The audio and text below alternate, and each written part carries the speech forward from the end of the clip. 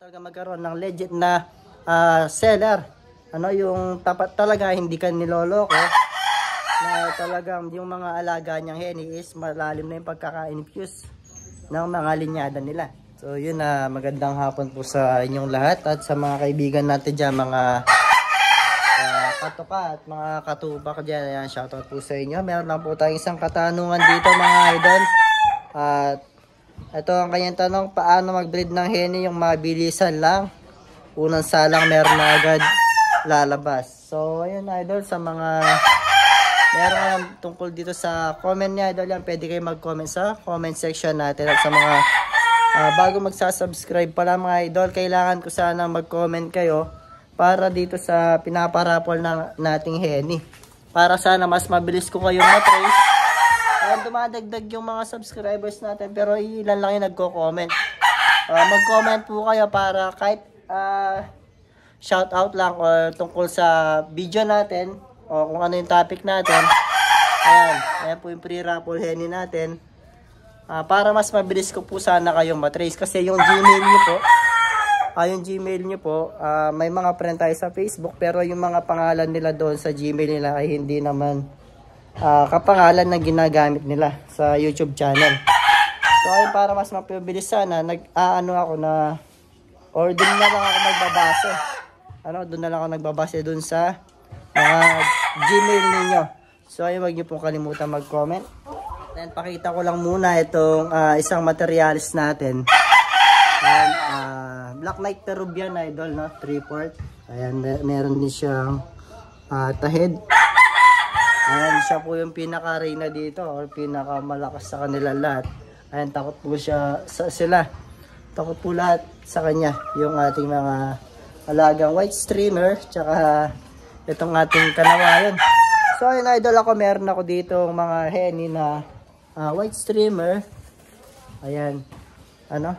So, ayan, para na mapabilis ko sila na mag-breed. Sabi mo nga na mabilisan lang, yung isang salang lang, meron na agad. So, ako, aabutin ako ng 3 years dito.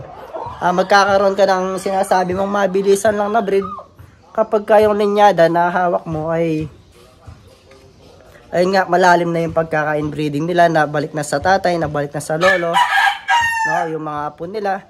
So, ayun, kailangan mo magkaroon, idol, ng malalalim na linyada ng mga henny. Kailangan mo talaga magkaroon ng legit na ah, seller. Ano, yung tapat talaga, hindi ka niloloko. Na talagang yung mga alaga niyang henny is malalim na yung pagkaka-infuse ng mga linyada nila. So, yun lang mga idol, at update ko lang kayo dun sa pinamigay, pinapamigay sana nating itlog. Baka hindi siya na, naklik yung notification bell niya or busy lang siya. Ayan, pakita ko dito. So, ito idol, yung pinapa, di ba may pinaparapol tayong henny? Ay, yun yung tatay. At ito yun, meron siyang sampung itlog. Ayan, papamigay na lang din natin yung mga sisiw nito pagdating ng ah, October 8. Nilista ko yan sa father kung kailan siya mamimisa, ano? So, ito siya kasi binapa, may nagtanong din kung paano magpalabas ng henny. So, ayun, binibigay ko na lang sana sa kanya yung mga itlog. Ano? Uh, nanghihingi tayo ng 200 para lang sana alagaan natin yung mga sisiw. At para mabigay natin sa kanya na medyo malaki na kasi ma mahirap po magpalaki ng mga sisiw lalo na yung hindi pa kompleto yung mga balahibo nila. Ano? So, sa mga hindi pa nakapag-subscribe, ayan mga boss, nakikiusap ako sa inyo, mag-iwan po kayo ng comment na kahit shoutout lang o kaya ah gusto nyo ah, makisali sa tanong ni idol natin, na pwede nyo ring sagutin kung ano yung tinatanong niya. Ayan, i-comment nyo lang sa comment section natin.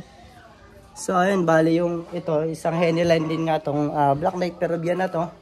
Ayan, i-introduce natin sa mga kanawayan o white streamer natin na henny mga boss. So, ayun lang sa mga hindi pa nakapag-subscribe. Ayan, mag-subscribe na kayo. Palike na rin yung video natin. Subukan natin paabutin ng ah, 20 likes. Ah, yung pakiusap po sa inyo, idol. Ayan, mag-comment po kayo sa comment section natin para mas madali ko kayo matrace. So, ayun lang. ah, sana, idol, nakatulong. Ayan, mag-ingat po kayo palagi.